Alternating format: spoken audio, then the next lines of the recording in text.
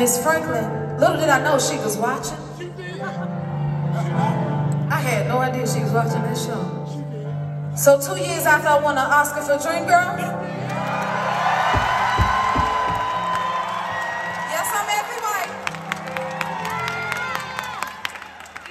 I had a meeting with Miss Franklin. And she said, it is you, young lady, who I want to play me. And I said, huh? Exciting thing, but it's the scariest thing at the same time because it's the queen of soul, Miss Aretha Franklin. But she said, you know, you're going to go out here, you're going to sing these songs. And if she say sing, you better get to singing. Okay? And she would, you would make her real proud if you help me out with this song because I know you know it. Oh, don't get shy on me now. Can I take you back? Well, all right, she said,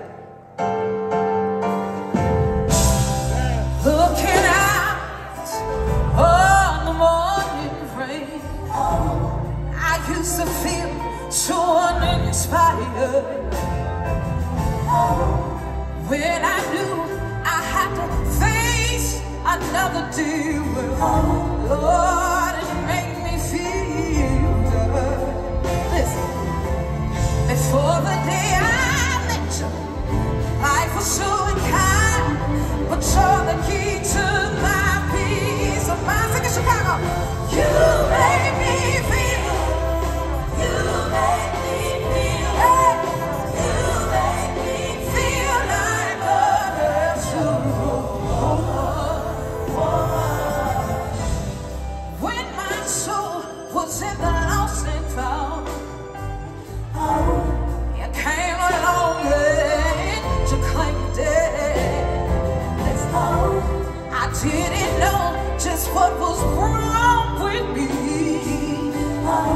your.